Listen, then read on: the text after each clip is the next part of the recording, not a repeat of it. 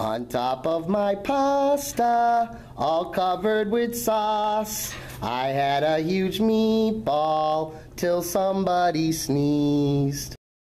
It rolled off the table and onto the floor, and then my poor meatball rolled out of the door. It rolled into the jam and onto the court, and then my poor meatball was nothing but net. It rolled off to Turnberg's as fast as it could, and then my poor meatball was running on Dunkin'. It seemed to be hyper and took off in a flash. Almost caught my meatball and then it was gone.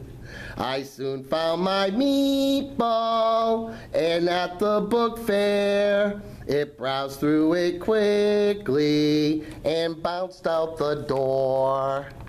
I lost my poor meatball. Where did it go? I'll go back to my pasta without my meatball. Unbeknownst to me, my meatball knew its place. It hurried on back and I found it on my plate. So if you like pasta, come buy a ticket please. Come eat March 5th at 5 o'clock and bring your family.